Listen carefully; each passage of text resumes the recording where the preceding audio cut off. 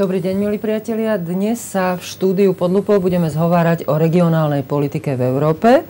Do štúdia prijal pozvanie predseda Bratislavského samozprávneho kraja, pán Pavol Frešo. Dobrý deň, vitajte. Dobrý deň, Prem. Ďakujem, že ste prišli. Takže ideme hneď z Ostra o regionálnej politike v Európe, ale budeme sa, dúfam, rozprávať aj o iných veciach, ktoré trápia župu. V júli sa chystá summit e, európskych regiónov a miest. Je na to Bratislava pripravená? Tak je to iniciatíva, ktorú vyvinula Bratislavská župa v spolupráci s hlavným mestom, kedy vlastne oslovila všetkých 400 regiónov, alebo zhruba 400 regiónov, ktoré Európska únia má, v rámci výboru regiónov. Oslovila vlastne týchto 400 regiónov, že aby sme robili taký summit v Bratislave, Také stretnutie týchto regiónov býva raz za 2-3 roky. Posledné dve neboli veľmi úspešné, lebo jedno bolo v Grécku, akorát keď bola kríza, jedno bolo v Dánsku, kde sú pomerne chladní v Európskej únii. A my sme oslovili s takou víziou tento výbor regiónov, s takou víziou, že u nás sme zvyknutí robiť podobné aktivity medzi ľuďmi, takže na nábreží Dunaja a v podobných, by som povedal, atraktívnych lokalitách tento summit bude a pripravení sme. Ja len jednu polovetu poviem, ten výbor regionov je v podstate ako keby druhá komora Európskeho parlamentu, e, s tým rozdielom, že ako členovia nemáme za to žiadne peniaze ani diplomatický pas. ale, ale je to zastúpenie regionov vlastne z celej Európy. Podľa toho, ako som o tom čítala, tak táto akcia má byť najväčšia v rámci nášho predsedníctva počtom to tých, ktorí sa zúčastnia a z prievodných podujatí. To je fakt, lebo v skutočnosti ráta sú sa stovky, možno že cez tisíc ľudí, ktorí, alebo delegátov, ktorí sem prídu. A vyklúvala sa z toho naozaj najväčšia akcia v rámci našeho celého predsedníctva. A je pravda, že aj ten koncept, ktorý bude na Devíne, prípadne ďalšie sprievodné akcie sú skutočne určené tisícom, možno 10 tisícom ľudí, čiže je to veľmi veľká akcia aj čo do počtu delegátov ale aj čo do počtu vlastne návštevníkov, ktorých chceme vlastne byť s nimi v kontakte. Je to pre ľudí a chceme naozaj ukázať, že stredná a povedzme si aj východná Európa, že je kus sveta, kde sa oplatí e, ich názory vypočuť a o tom budeme hovoriť ďalej, lebo nám sa tam podarilo okrem toho, že je to tu u nás, že budeme hostiteľmi, Bratislavská župa a hlavné mesto Bratislavy, tak sa nám naviac podarilo aj to, že do tých tém sme dali témy, ktoré sú pre strednú a východnú Európu veľmi dôležité. Moja ďalšia otázka je teda, aké budú témy? Tie témy sú v podstate tri. Ja ich skúsim povedať ľudským jazykom, lebo niekedy je to naozaj ťažké rozoznať z toho, čo by som nazval taký európsky byrokratický jazyk. Poviem tie, ktoré trápia ľudí na Slovensku najviac, ale aj ľudí v okolitých štátoch. Tá prvá je, že nemáme stále dobudovanú dopravnú infraštruktúru. Tam si strašne silno uvedomujeme, že keď sa rozprávate s niekým zo starých členských štátov Európskej únie, rozumie z tých západných krajín, tak pre nich je táto téma veľmi vzdialená, lebo majú infraštruktúru nie že dobudovanú, ale až prebudovanú. To znamená, stávajú už x tu trať rýchlo vlaku. Hej. O tom, že či majú dielnice, ktoré spájajú ich krajinu poriadne postavené, nie je žiadna debata. Hej. Dnes už hovoria o tom, kde ešte dielnice nemajú, kde by ich ešte pospájali, ale tie, tú kostru majú dávno hotovú.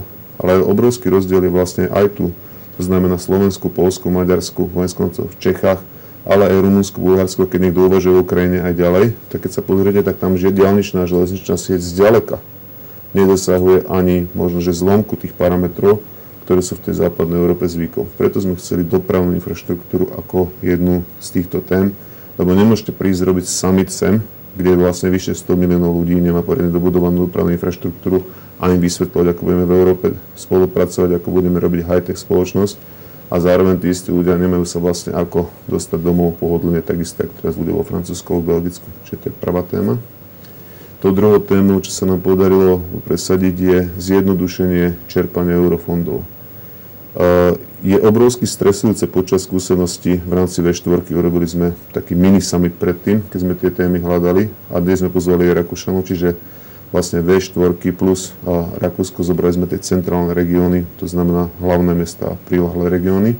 A sme sa bavili o témach a ako téma číslo jedno zišlo zjednodušenie čerpania eurofondov, lebo je veľmi frustrujúce počúvať skúsenosti, kde niektoré z čerpania eurofondov, ktoré už sú možno roky staré, už boli veľakrát zauditované, znova príde nejaká komisia alebo nejaký auditor, otvorí to povie, že tam bola chyba a mesta a obce musia vrácať tieto eurofondy. Dokonca v Čechách veľmi často sú potom aj uh, nie že terčom, ale proste uh, objektom represívnych síl, to znamená, tam pokračujú trestné stíhania za veci, ktoré sú možno, že už skoro 10 rokov staré, kde ľudia nevedia, že urobili chybu, kde im všetky audity povedali dovtedy, že je to v poriadku a zrazu niekto povie, že ste to urobili zle.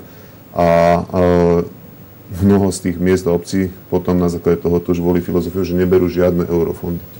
Čo je totálna hlúposť, lebo eurofondy si platíme z vyššie polovice sami a nebrať ich naspäť je v skutočnosti neprihlásenie sa o vlastné peniaze. Čiže zjednodušenie toho čerpania a veľmi budeme zápasiť o to, aby do toho výstupu z tohoto samitu sa dostalo, že musí existovať istá jasná čiara, že keď splníte tento konečný počet krokov a nie je tam zároveň žiadny zjavný trestný čin, tak už sa nedá proste tej obci alebo mestu prikázať, aby eurofondy vracal naspäť so všetkými následkami, ktoré to môže mať až napríklad ponútenú správu. Tieto príbehy v strednej a východnej Európe sú strašne časté. Bolo by ste sa veľmi čudovali, koľkokrát sa to stanú z toho dokonca aj tragédie. V Čechách boli dokonca sebevraždy, ale keď sme to hovorili aj s Poliakmi na to samite, aj s Maďarmi, aj oni hovorí, že majú podobné skúsenosti, čiže naozaj chceme otvoriť aj túto tému, lebo sa potom cítia ľudia v tej strednej východnej Európe proste menej ceny. Tí, tí predstaviteľe samozprávy, že dobre, no OK, tak jak máme tu nafungovať, keď z ďalekého Bruselu po x rokoch niekto príde, pozrie sa do papiera a povie, že od začiatku ste to mali robiť ináč. My povieme, no dobre, ale že od začiatku sme to s vami konzultovali, robili sme to tak, ako ste nám kázali a vy poviete zrazu, že to má byť inak. Čiže a Bratislavský tá... samozprávny kraj má takúto nejakú príhodu? príjemnú? Popravde povedané, človek sa nemá sám seba chváliť, ale my máme, my máme uh, vyše stovky auditov podľa mňa v tejto chvíli za sebou a tie audity boli bez nálezu alebo s nálezmi, ktoré sme hneď odstránili a máme skutočne len nejaké možno promile nevyčerpaných eurofondov a to z toho úplne jednoduchého dôvodu, že Bratislava ako kraj má veľmi obmedzené čerpanie eurofondov a preto na župe razíme vlastne politiku, že keď sme obmedzení, že môžeme málo čerpať, tak dokážeme všetkým tým ostatným, že vyčerpáme aspoň to Všetko. málo totálne na nulu, že jednoducho to nie je naša neprofesionalita, je to jednoducho asi veľmi chorou štatistikou, ktorá hovorí, že Bratislava je snáď už akože, ja neviem, už na prvom mieste v bohatstve, alebo že neviem. Ja už to nečítam, tie štatistiky, je to proste šialené, každý vie, že je to hlúpo, že nie sme žiaden Paríž, Londýn a sme aj tak medzi nimi v tabulke, tak je to bolestné.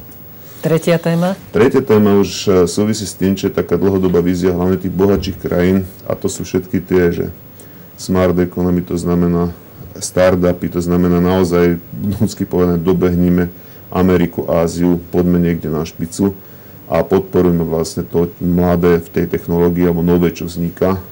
Čiže to sú vlastne také tie viac technologické témy, že ako uľahčiť tvorbu tých nových ideí, aby sa čím najsk- čo najskôr narodili a keď sa narodia, aby ich nezadusila byrokracia, čo veľmi rád ako si pozriem, lebo naozaj toto je, toto je téma, kde mnoho ľudí hovorí, keď si zoberiete debaty ľudí, ktorí podnikajú v Amerike, v technológiách a v Európe, mnoho hovorí, že aj tak tá regulácia v Európskej únii je obrovská. Samozrejme, je dobré, pokiaľ tam znižíme reguláciu, prípadne zavedeme nejakú podporu, ale myslím si, že toto je beh na veľmi dlhú trať. Ja som ozvlášť že sa podarilo slovenskej jednak delegácii, ktorú sme tam zastupovali pri týchto rokovaniach, ale jednak poviem otvorene aj pánu primátore mne, keď sme tam na tých neformálnych debatách boli, že dve z tých tém sa priamo týkajú vlastne súčasnosti toho, čo máme nielen na Slovensku, ale aj v okolitých štátoch a jedna budúcnosti, lebo Slovensko samozrejme sa hlási k tomu, že ak sa má niekedy stať alebo vyrovnať všetkým tým západným alebo starším štátom, tak hlavne práve technologický biznis je to, čo by mohlo Slovensko posunúť. To znamená, robota nie rukami, ale hlavou by nás mala posunúť úplne, úplne dopredu. Vy ste hovorili, že Bratislavský samozprávny kraj a teda aj vy, že ste boli iniciátorom tohto Európskeho samitu. Čo si od neho slubujete?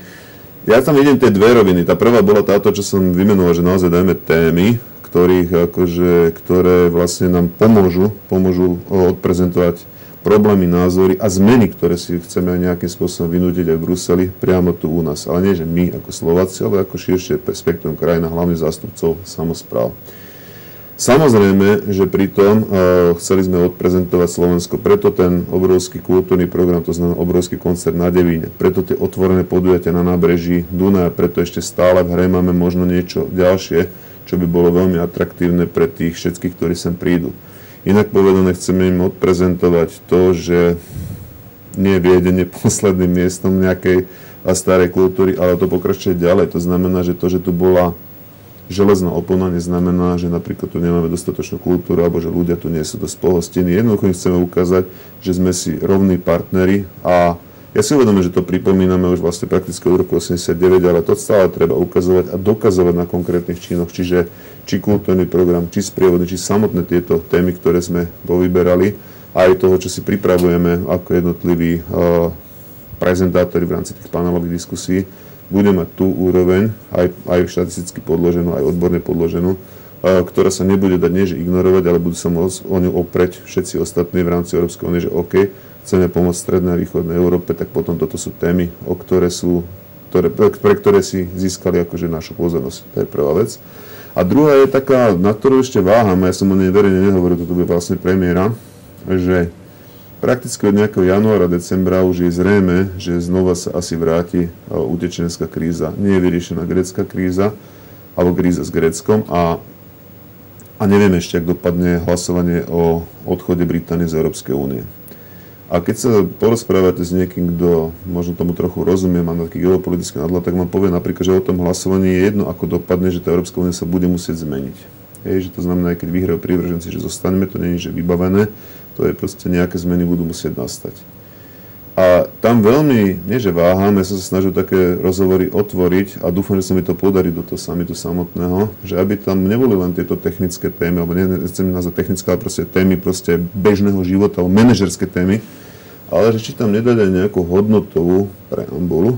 Veľmi, veľmi sa budem snažiť o to a dúfam, že získame ostatných kolegov, že tak, jak sa nám podarilo spolu dať tam témy, ktoré sú atraktívne proste pre uh, vyše 100 miliónov ľudí, a teda samozrejme tie, tie ostatné potom aj pre celú Európu, ale že aby neboli ignorovaní ľudia strednej východnej Európy, tak by sa tam možno, že dala dať aj téma, ktorá by reagovala na túto situáciu, kde, ale to my možno budeme musieť nájsť naozaj niekoho veľmi, veľmi znalého, aby nám aj s tým pomohol, kde keď počúvate diskusiu, tak vlastne uh, sa jednotlivé strany pri tých krízach len strašia. Príklad poviem, že odíte z Európskej únie, Briti a doplatíte na to v obchode. Hej neviem čo, vyhodíme Grécko z eura a doplatí, a neviem čo, v zápäti padne Taliansko. Vymýšľam si, že všetky tieto témy sú také, že hrozbové. Ako keby som, tam som nepočul, alebo neviem, možno ma opravíte, nie je nejaký ako dobrý dôvod, prečo Európska únia by mala fungovať. A ja za taký dobrý dôvod považujem naozaj tie úplne že základné hodnoty, to znamená naozaj o slobode, o demokracii, o voľnom pohybe, o tovaru a služieb a o voľnom, hlavne o voľnom pohybe ľudí. Čiže to nie sú, nie sú témy, ktoré by boli že zadarmo a že vlastne, že zni- a nám zostanú na veky. Ale možno by stálo za úvahu aj takéto základné hodnoty európske premietnúť do nejakého výsledku toho samitu. Ja viem, že asi narazíme na taký nejaký odpor, že to nie je moc politické a moc filozofické, to necháme tým vyšším, ale zase ako predstaviteľ regionu z celej Európy, ktorí sa tu zídu možno že o ďalších až 20-30 rokov, lebo naozaj to je veľmi zriedkavé podujatie, by sme sa mali ako Slováci usilovať niečo aj v tejto rovine priniesť. Aby sme neboli len takí technokrati, že vybavíme si eurofondy, niečo na cesty a, a zbytok po nás potopa. Ale určite je to dôležité teraz v rámci utečeneckej krízy a v, rámci aj krízy, do ktorej sa Európska únia dostala. Ja s tým súhlasím a nemienim vás opravovať. Nie, nie, len ako hovorím, že toto je také, také vnútorné, keď si sa bavíme o tom, čo chystáme, tak tie technické, ako, alebo tie, tie, ktoré rozumiete, manažerské, tie asi urobíme dosť dobre aj si to nejak anglicky poriadne pripravíme, že či to bude rozumieť. Ale teraz prichádzajú možno aj tie hodnotové ako témy. Že skutočne by bolo Určite, možno dobre nejakú hodnotovú vec aj povedať. Ja sa teraz tak spýtam utilitárne, Jasne. čo to bude znamenať pre občanov Bratislavy? Koľko dní bude ten summit trvať? Či budú nejako obmedzení? Či proste bude doprava obmedzená? Popravde povedané, ja si myslím, že budú minimálne obmedzenia z hľadiska ľudí v Bratislave, že aj keď je to najväčší počet ako keby účastníkov, tak oni sa budú koncentrovať na dvoch alebo troch miestach. Jedno je Národné divadlo, kde sa bude samotný summit odohrávať ale tam nepredpokladáme žiadne že uzávierky, naopak tam sme trvali na tom, aby hneď pred Národným divadlom na nábreží Dunaja sa vlastne diali aj zároveň otvorené časti tohoto samitu. Ďalšie spomínaný koncert na Devíne. No, keď už je to koncert pre ľudí, tak samozrejme tam tých ľudí chceme nalákať. Chceme im naozaj ukázať, ukázať uh, jeden výnimočný koncert, ja to už prezradím, je to koncert, obsahuje to aj koncert Gohňostrov, to znamená, je to málo výdaná skladba a je to, je to niečo, čo si Agnes Konopko s pánom Popovičom proste pripravili ako jedno naozaj pásmo, ktoré sa oplatí, oplatí vidieť. Je to, ja som veľmi kladol na srdce, aby sa na to aspoň 10 rokov spomínalo, tvrdí, že sa bude. Takže tým pozývam všetkých na koncert na Divine, ktorý bude, myslím, že 7. to treba potom posledovať. vlastne v predvečer tohoto samitu samotného. Čiže to je druhé také miesto. Pracujeme ešte s tým, Stará tržnica, tam sa budú diať nejaké aktivity. Mesto tam organizuje, tam nie je veľmi čo obmedziť. A ešte jedno miesto, ktoré nechcem teraz povedať, stále sa ich snažím nalomiť pri Dunaji, že aby sme predsa len to urobili, že keď už tak úplne v tej plnej škále, v tej plnej nádhere hlavného mesta Bratislavy, že nech to naozaj nie je japonská delegácia len po starom meste, možno, že plus devino, a tak ešte jedno, aby sme ukázali, že tá voda nás spája, že teda sme plnohodnotným mestom. Čiže skôr si myslím, že nie. Ďaleko väčšie obmedzenia budú, keď treba sem prídu ministri vnútra, alebo proste niekto, uh, kde by naozaj hrozilo nejaké bezpečnostné riziko, tak hoci ich bude povedzme, že 30 alebo so sprievodom dokopy, ja neviem, vymyslím si 200, tak budú vyžadovať ďaleko väčšie obmedzenia. A skorej, skorej chceme ľudí nalákať na tie sprievodné podujatia, že aby sa ich zúčastnili. Čiže malo by to byť niečo, čo bude, čo bude jednoducho fany a prečo sa oplatí výjsť, akože si to pozrieť, či ten koncert, či tie podujatia na nábreží. Čiže práve naopak, budú tieto sprievodné podujatia, čo sa bude no, nám, občanom ako, páčiť. Keď sme som ako taký výraz, že ich balili na to, že prečo to je v Bratislave, tak ten hlavný argument, na ktorý bolo počuť, keď sme ich lákali vlastne výbor regionu, že prečo, tak som si prečítal, jak to mali v tej Kodani, jak to mali v tom Grécku a sa tak proste pozeral, hovorím si tak, ok, v Grécku riešil len tú krízu, hej, v tej Kodani také, že chladné prijatie, vlastne boli to také zavreté, nemali to nič verejné, tak hovoríme si, že však my máme aj tie dni Európy, máme, Bratislavská župa často aj spolu s mestom robí, nie len, že Silvestre robí ale si čiže robí aktivity medzi ľuďmi, ktoré sú pomerne masové, tak presne na toto sme ich nalákali, že vieme robiť pri Dunaji témy, ktoré sú aj spoločenské, politické, vieme ich priniesť spolu s nejakým kultúrnym programom, až nie je dôvod, aby to vlastne sme toto neponúkli ako celok. A to teda zabralo. Hej, práve to, že sme im ukázali ukážky, že aké robíme vlastné aktivity, či už Bratislavská župa alebo mesto a medzi ľuďmi, tak to zafungovalo. Tak páni proste si povedali, OK, tak preto to sa oplatí, a z kraja Španielska prísem a naozaj byť tu s miestnymi ľuďmi a debatovať so svojimi kolegami z celej Európy.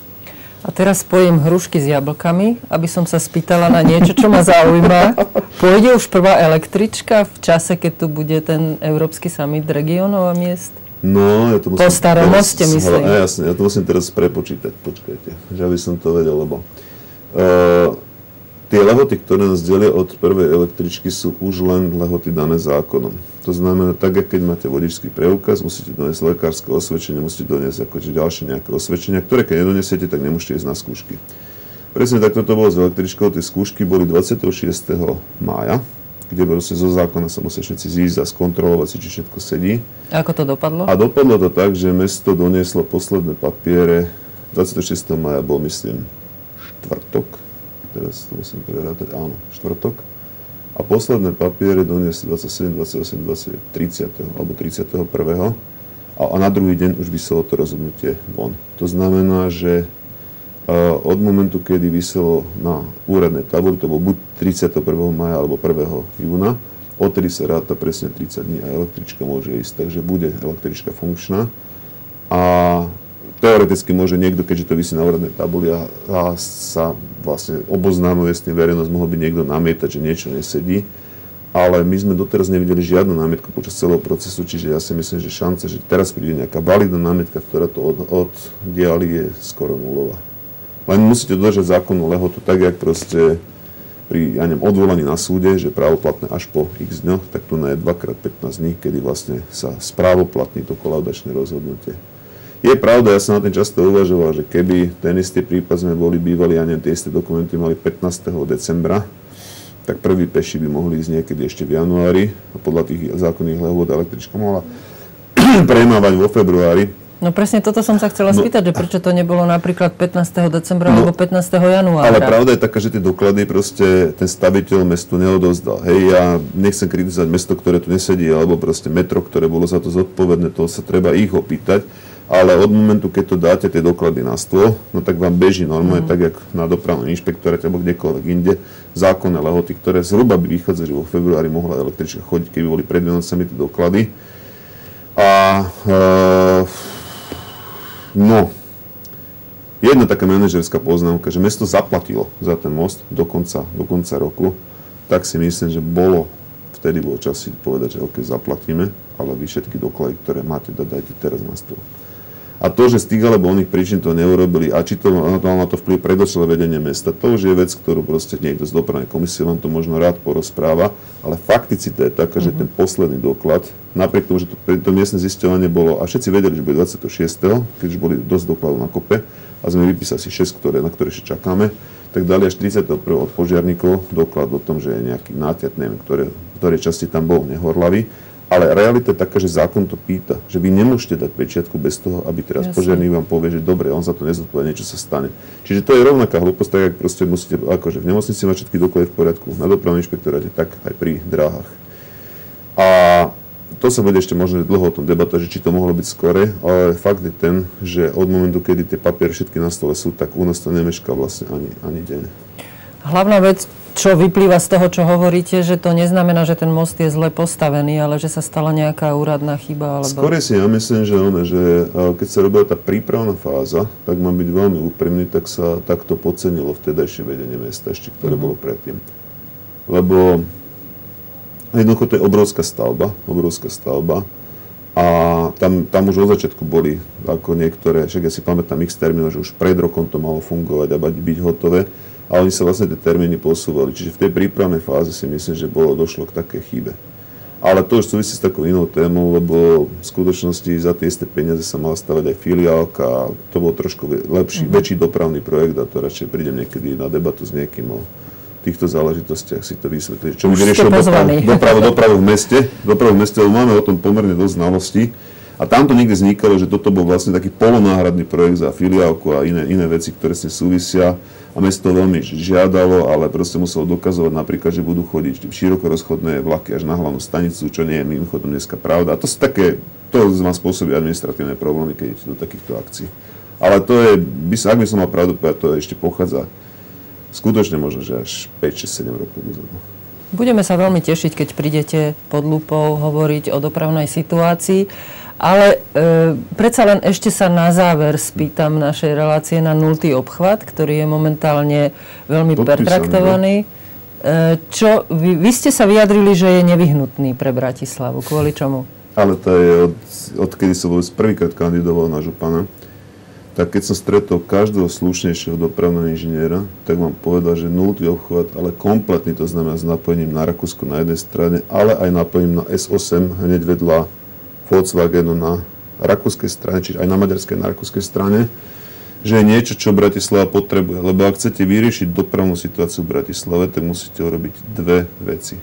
To prvou je nultý obchvat, to znamená, aby tí, ktorí obchádzajú Bratislavu, nemuseli ísť do mesta, aby tí, ktorí sú ochotní radšej ísť dlhšie, alebo radšej ísť dlhšiu trasu, ale kratšie, kratšie akože čo sa týka minút, tak mali vlastne obchvat ako každé moderné mesto okolo seba.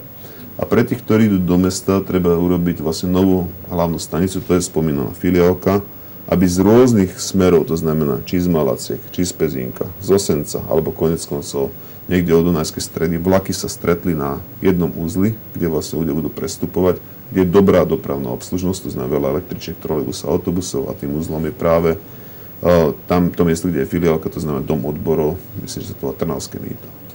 To znamená, tá filozofická filozofia je postavená už desiatky rokov dozadu, ktorá hovorí, že jednu poriadnu stanicu zo všetkých smerov nech idú vlaky a nultý obchod okolo Bratislavy. Tá je nemenná. A ja som sa preto vyjadril, že je to nevyhnutné, lebo neexistuje žiaden urbanista alebo o, serióznejší dopravný inžinier, ktorý by povedal, že existuje adekvátna náhrada za tieto dve veci. Neexistuje žiadna adekvátna náhrada, preto ju treba, treba spraviť. A keď budeme debatovať o tom, či je to drahé alebo lacné, to je samozrejme iný typ debaty, ale to, že by sme nemali mať nultý obchod, tak ako má Praha, má poriadny obchod, alebo Viedeň, tak to považujem za absolútnu hlúposť. Pozrite sa, Budapešť, aký má krásny obchod. Čiže stavať sa proti tomu, to je úplná, úplná akože neznalosť týchto pomerov. A to tiež kľudne dojdem si sem obhajiť, lebo ja za tým stojím. A dokonca v oboch voľbách župných si pamätám, že o tomto som hovoril ako o svojom programe priorite. Aj za to som dostal dôveru, tak presne tú dôveru naplňam. Ja vám prezradím, že vy ste ešte dodali z toho citátu, čo ja hovorím, že je to veľmi dôležité kvôli tomu, aby bol export, lebo že väčšina exportu sa deje z Bratislavy. Ale toto je hlboká pravda, lebo toto nemám úplne z vlastnej hlavy, to sa naučil ľudí, ktorí v automobilovom elektrotechnickom priemysle, ktorí hovoria, že odtiaľto až po Žilinu hlavná exportná trasa vedie vlastne cez Bratislavu, to znamená na rakúske cesty a smerom na Nemecko, prípadne na Čechy, to je prvá vec. A druhá vec, e, ktorú, ktorá je menej známa, je, že automobilky, tady to robia formálne, neviem, čo nazva, že import, ale vlastne časti vezú do týchto troch automobiliek, to znamená aj Volkswagenu, aj Peugeotu, aj Kia. To znamená, že navážujú sem diely z celej Európy a proste just in time zmontujú auta, sa vyvážajú to istou trasou. A pravda je taká, že ako náhle urobíte to, že tu urobíte štúpel v Bratislave, tak ohrozíte nielen biznis akože pri Bratislavsky, ale aj týchto automobiliek, ktoré sú na považi. Lebo v skutočnosti, keď sa s nimi porozprávate, s tými ľuďmi, ktorí v tých automobilkách pôsobia, tak vám povedia, že nemajú žiadne sklady, všetko je na kolesách a rátajú s tým, že diálnica je voľná, hej, alebo nejaký ekvivalent. A v tomto, ak niečo ohrozuje vlastne hladký prechod vlastne do e, tohoto exportu importu, tak je to práve Bratislava a práve tento multiobchod tomu pomôže. A to si myslím, že znova je bezsporná vec, pokiaľ máte slušnejších dopravných inžinierov, si sem posadíte, dáte ich hlasovať, budú možno rôzne reči k tomu viesť, ale na záver vám povedia, že bez tohoto ani ten export import fungovať nebude. Ale z hľadiska domácich ľudí, takisto z hľadiska dopravnej situácie, toto nevyhnutné. Isté. Ďakujem veľmi pekne, že ste prišli a teším sa na budúce. Milí priatelia, ďakujem, že ste nás počúvali a teším sa aj na vás na budúce. A ja ďakujem pekne, že som tu s vami mohol byť a veľmi rád prídem a predebatujeme si tie veci kľudne, hlbšie, odbornejšie. Nech ľudia tomu rozumejú. Budem rada. Ďakujem.